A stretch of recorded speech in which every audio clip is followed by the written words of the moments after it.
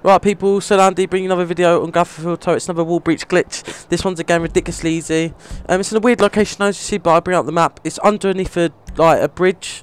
Really easy to get to though. It's just on the edge of the map. But yeah, this one I don't really see like what you can do that much if you get into the glitch. But again, it's just another glitch up to you from the high from people, whatever. What you have to do now is get to where I've just run into, sprint as hard as you can, and then you're in this little building. As you see, like you're under the building. It's really weird, but there's not a lot you can do with it, and it's really hard to get out of it as well. So yeah, so it's not that much of a good glitch, but it's just a glitch no none of the case. Like it's still worth uploading, still worth to show you lots. So yeah, if you'd like to like, sub to the YouTube, that'd be much appreciated, and go and check out the rest of the content. Alright, cheers people, and peace out.